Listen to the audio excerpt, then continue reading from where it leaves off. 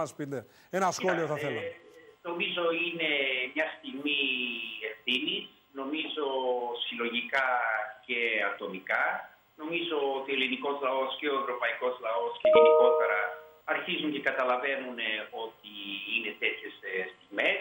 Αυτό το Δημήτρη που δώσατε πριν που λέει να πηγαίνω εγώ για ψώνια για τους ηλικιωμένους είναι μια καλή αρχή. Το βοήθεια στο Ε, σπίτι που λέτε και ο Δημήτρης που έβγαλε, μπορούμε να τη δούμε ναι, κιόλας ναι, στην ναι. εικόνα. Είναι σε πολυκατοικία, ένα παιδί σε πολυκατοικία που λέει, κύριε Υπουργέ, πολύ σωστά το λέτε, θα πάω εγώ να κάνω τα ψώνια. Τηλεφωνήστε, Νομίζω μην αυτό βγαίνετε. Είναι ακριβώς αυτό που χρειάζεται. Συμφωνώ. Πρέπει να σας πω όμως ότι είμαι ανήσυχος Ναι. ε, και πολύ πιο ανήσυχος μετά από την απόφαση του Eurogroup. Δηλαδή, δεν, συμμερί- Δεν είναι επαρκή τα συμμερίζουμε- μέτρα. Δεν συμμερίζουμε την αισιοδοξία του κυρίου Χατζηδάκη. Νομίζω ότι το Eurogroup... Ορίστε. Ο Δημήτρης ο Χριστούλιας είναι. Η μείωση, η, το Εντάξει, γεγονός καταρχάς, ότι δεν είμαστε Μπορώ να υποχρεωμένοι για το ολοκληρώσω έλλειμμα. ότι γιατί δεν είμαι πριν κάνετε την ερώτηση. Βεβαίως. Να σας εξηγήσω γιατί είμαι. Το 1% είναι πολύ μικρός αριθμός. Ε, είναι πολύ λιγότερο από ό,τι χρειάζεται. Το είδαμε αυτό και από τις μεγάλες οικονομικές εφημερίδες σήμερα. Διαβάστε τι λέει το Financial Times σήμερα. Διαβάστε την αντίδραση των αγορών. Διαβάστε την αντίδραση σημαντικότατων οικονομολόγων. Εδώ έχουμε μπροστά μας μια ε, απειλή για την η- οικονομία. Νομίζω ότι το Eurogroup το 1% δεν μας καλύπτει. Δεν Θεωρείτε είναι, ότι αυτό είναι μπορεί το να αυξηθεί; 1%. Συγγνώμη, δεν, ε, ε, ε, δεν, δεν σας ακούω καλά και... Έλα, Δημήτρη. Ε, Δεν θα αυξηθεί αυτό, θα μείνει μόνο στο 1%. Αυτό Κοιτάξτε, καταλάβαμε. ε, ε, εδώ έχουμε μια απόφαση να, να πάρουμε. Αν κάνουμε κάτι λίγο και μετά αν γίνουν τα πράγματα κάνουμε κάτι άλλο, εγώ έχω βαρεθεί από το Eurogroup το αν, αν χρειαστεί θα κάνουμε. Αυτή η προσέγγιση δεν βοηθάει. Δεν βοηθάει να πούμε θα αφήσουμε τα πράγματα και αν γίνουν, ε, γίνουν χειρότερα θα κάνουμε κάτι. Πρέπει να είσαι αυτό που λένε οι οικονομολόγοι μπροστά από την καμπύλη. Τι σημαίνει να είσαι μπροστά από την καμπύλη, κάνεις κάτι πολύ επιθετικά στην αρχή και μετά αυτό δεν χρειάζεται να πάρεις ε, άλλα μέτρα. Δεν- Αυτό είδαμε και με το ελληνικό χρέος που μας λέγανε οι Ευρωπαίοι ότι αν χρειαστεί θα κάνουμε κάτι στο τέλος. Δεν βοήθησε την ελληνική οικονομία. Να ρωτήσω κάτι, Κατά τη επειδή δική είναι μου άποψη, κλιμακούμενο. Επειδή να είναι... σας πω την δική μου άποψη ως τι πρέπει να γίνει και μετά να με ρωτήσετε. Βεβαίως, Εγώ κύριε νομίζω Υπουργέ, πέστε μου. Ότι ήταν η στιγμή να κάνουμε ένα πακέτο στην Ελλάδα ε, 2,5% του, του ΑΕΠ, δηλαδή περίπου 5 δις, να κατεβεί ο στόχος από τώρα στο 2% και σε αυτό το στόχο να μην μετρούνται όλες οι δαπάνες που θα γίνουν σε σχέση με τον ιό. Αυτό το 4,8 δις θα μπορούσε να ε, δημιουργήσει μια δημοσιονομική χαλάρωση που θα μας βοηθούσε. Έχουμε και το μαξιλάρι που τόσο και τόσο χλεβάστηκε που θα Γι' μας αυτό θέλω να κάλυπτε. σας ρωτήσω, κύριε Τσακαλώτη, αν μου επιτρέπετε, επειδή το λέτε, καταρχήν οι δαπάνες, από ό,τι ξέρουμε για, που, για τις επιπτώσεις που υπάρχουν από τον κορονοϊό, αλλά και από το προσφυγικό, θα εξαιρεθούν από τις δημοσιονομικές επιδόσεις. Ακριβώς, Τώρα, σε ό,τι αυτό αφορά... λέω. Άρα Ακριβώς. λέω εγώ, ακριβώς, το ίδιο πράγμα λέμε. Λέμε δηλαδή, να πάνε, εγώ λέω, επιπλέον σε αυτό, να πάμε στο 2% στόχο από το 3,5%. Πρωτογενές είναι 1,5% πλεόνασμα. του ΑΕΠ, Και συγχρόνως, και συγχρόνως, όπως είπατε και εσείς και αποφάσισε το Eurogroup, να μην μετρηθούν προς το στόχο, άρα θα φτάσουμε ουσιαστικά σε ένα στόχο 1%. Αυτό θα Εσείς μας επιτρέπει να προτείνετε- κάνουμε περισσότερα για τους εργαζόμενους, που η Σωστά κυβέρνηση όλα αυτά. εκεί τις επιχειρήσεις θα μας αφήσει περισσότερο να κάνουμε για περισσότερα πράγματα για τη ρευστότητα, να δώσουμε ένα έκτακτο επίδομα στους ανθρώπους που θα αντιμετωπίσουν καραντίνα στο σπίτι και δεν έχουν τη ρευστότητα που θα έχετε εσείς και εγώ να πάμε σε ένα σούπερ μάρκετ να πάρουμε μια αγορά 200 ευρώ να μας καλύψει για τις 15 μέρες. για αυτές τις μέρες.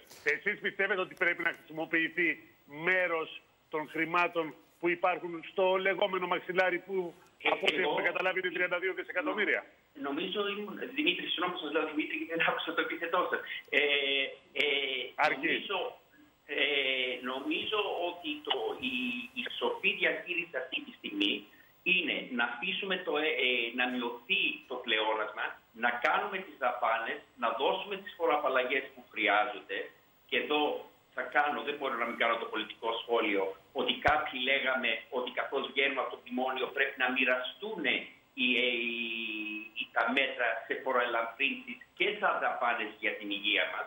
Άρα να γίνουν όλα αυτά και αν δημιουργηθεί πρόβλημα στο δημοσιονομικά προσωρινά ή δεν έχουμε χρηματοδότηση, τότε έχει, υπάρχει το μαξιλάρι να δίνει ασφάλεια στις αγορές ότι το προσωρινό πρόβλημα μπορεί να αντιμετωπιστεί. Ακούσαμε τους υπουργού, ακούσαμε να λένε ότι τα 16 δις μάλιστα είναι άμεσα διαθέσιμα. Οποιαδήποτε στιγμή δηλαδή μπορούν να διατεθούν. Ε, εγώ, εγώ καταλαβαίνω ότι θέλετε να ξοδέψουμε λίγο και να δούμε μετά τι γίνεται. Εγώ λέω το αντίθετο. Να ξοδέψουμε πολλά, να στηρίξουμε το σύστημα υγείας, τους εργαζόμενους, τις ευάλωτες ομάδες και μετά έχουμε καβάτσα το μαξιλάρι. Δεν είναι πιο λογικό αυτό. Πραγματικά θεωρείτε ότι πάμε για μια μικρή οικονομική κρίση. Όχι, προφανώς. πάμε για μια μεγάλη ε, κύριε Απλά, κύριε Υπουργέ, αν μου επιτρέπετε. Εσείς που έχετε μεγάλη εμπειρία από, το, από, από Eurogroup και έχετε μιλήσει με πολλούς Ευρωπαίους αξιωματούχους, πιστεύετε ότι θα σταθούν όλοι στο ύψος των περιστάσεων και θα αυξήσουν τα κονδύλια προκειμένου να στηριχτούν εργαζόμενοι και επιχειρήσεις; Το ελπίζω, αλλά το πρώτο δείγμα, ε, ε, εγώ έχω μεγάλη εκτίμηση στο Μάριο Σεντένο, που είναι ο πρόεδρος του ναι. Eurogroup, ο υπουργός ε, οικονομικών της Πορτογαλίας. Νομίζω, ε, αλλά ο άνθρωπος νομίζω έχει πολύ ε, δύσκολη δουλειά. Η Γερμανία και ο σοσιαλδημοκράτη Όλα Σόλτς νομίζω προφανώς πίεσε για να μην υπάρχουν πιο δυναμικά μέτρα.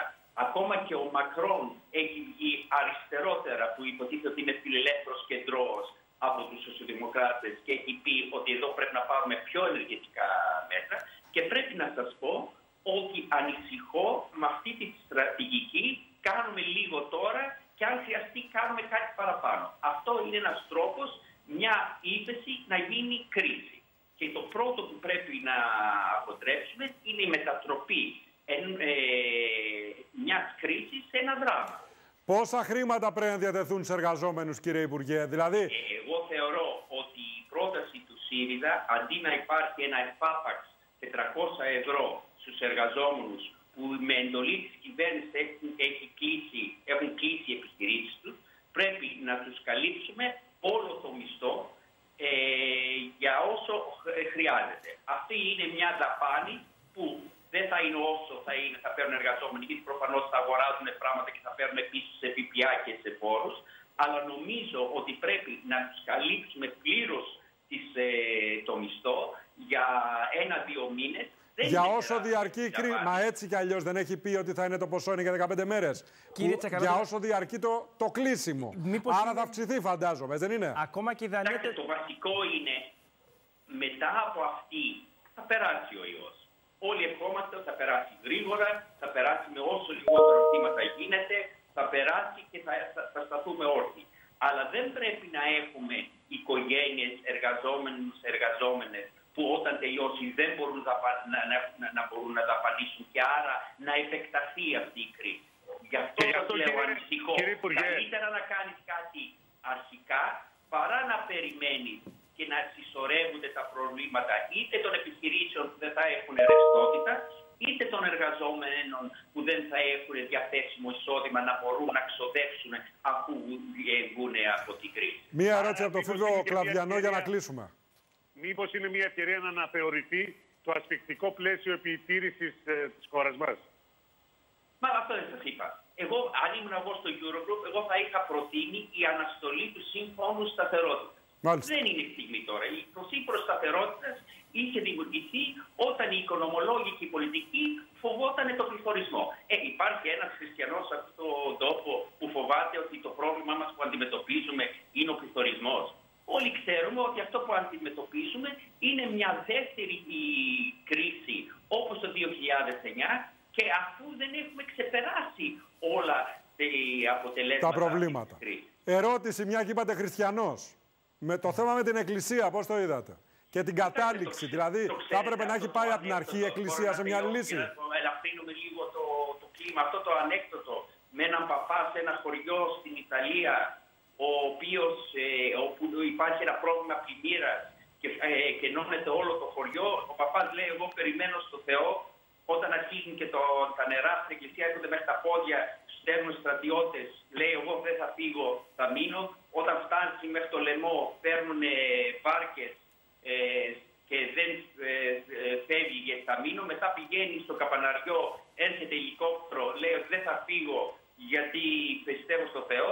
Και μετά όταν φτάνει ακόμα πιο ψηλά από το καπαναριό στον παράδεισο, και, ζητάει το λόγο από τον Άγιο Πέτρο και του λέει ο Άγιος Πέτρος ρε Παγάτα, τι, ποιος νομίζεις ότι έστειλε τους στρατιώτες, τα φουσκωτά και το ελικόπτερο. Αυτή είναι η άποψή μου, ότι νομίζω ότι πρέπει να... Εξαιρετικό, εξαιρετικό για να... Και να εξαιρετικό. ότι κοιτάξτε, δεν θέλω να κάνω αντιπαράθεση πολιτική και ιδεολογική, αλλά κάποιοι από εμάς λέγαμε ότι η δημόσια υγεία και η στήριξη της δημόσιας υγείας και η στήριξη των ανθρώπων που κάνουν φοβερές μάχες από ό,τι ακούω σε όλα τα νοσοκομεία σε όλα, σε όλα πράγματι. Χρειάζεται τη στήριξη ε, του κράτου. Ξέρετε, μια... ότι μόνο στην κρίση καταλαβαίνει κάποιος πόσο σημαντικό είναι το κράτος και ακόμα και οι ιδεολόγοι του ελευθερισμού μετά ξεχνούν την ιδεολογία τους και λένε για το κράτος. Πρέπει να λειτουργεί σωστά το κράτος είναι το θέμα. Όταν βγούμε από αυτή την κρίση, να, να δούμε ότι ο δημόσιος τομέας στην υγεία είναι πολύ σημαντικός για να είμαστε καλυμμένοι και καθημερινά και όταν έχουμε έκτακτες κρίσεις. Κύριε Τσακαλώτο, ευχαριστούμε πάρα πολύ για την παρουσία σας. Όταν λέμε συχνά αυτές τις μέρες, αντιλαμβανόμαστε όλοι ότι βρισκόμαστε σε μια κατάσταση ειδικών συνδικών. Ευχαριστούμε πολύ κύριε Υπουργέ. Να είστε καλά.